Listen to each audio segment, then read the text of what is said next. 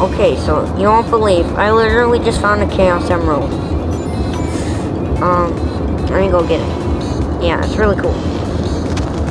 Yeah, so here's my Chaos Emerald. It's like really cool how I just found one of these lying out in the open. But here it is, Chaos Emerald. And yeah, um.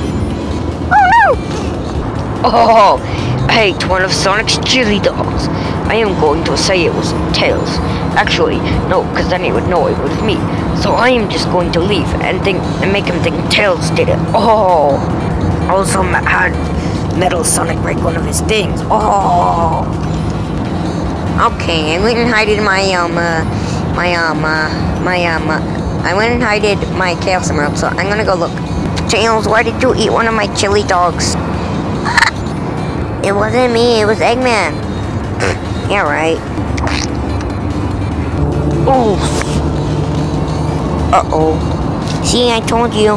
Oh, let's kill him.